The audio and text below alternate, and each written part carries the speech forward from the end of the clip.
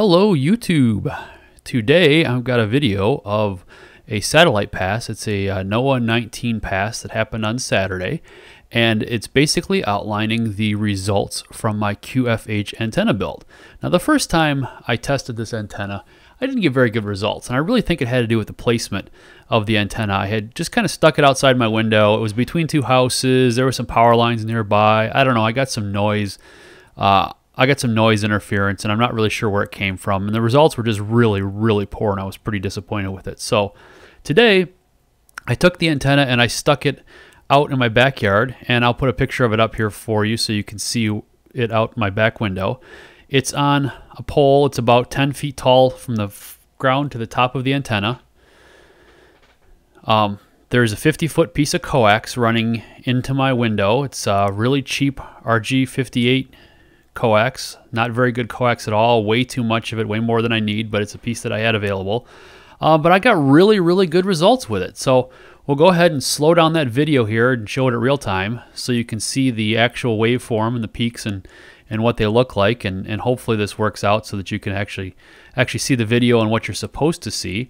And then um, I'm going to go ahead and uh, play a little bit of audio from the from the, the satellite pass so you can hear what you would hear if you play this into uh, your speakers or headphones. You, this is the sound you would actually hear.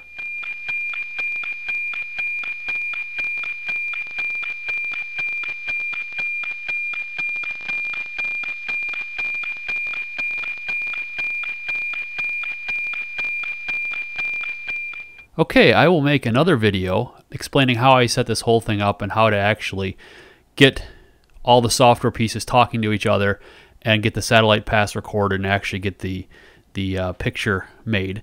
Um, but I'll, I'll have to make another video to talk about that. This entire satellite pass was just under 14 minutes long, and I've been playing it back at four times speed. But it, even so, it's still a whole lot of the same old pass here. So we're going to go ahead and skip forward a little bit right to the end and you can see the raw image before it's before it's processed.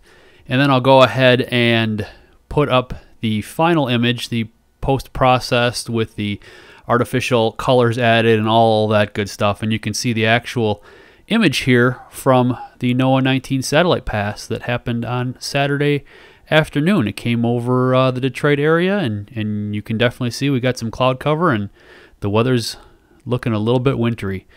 Thank you for watching. I hope you enjoyed this video. If you have any questions, please feel free to post them as comments and I will try to answer to the best of my ability. Thank you and goodbye.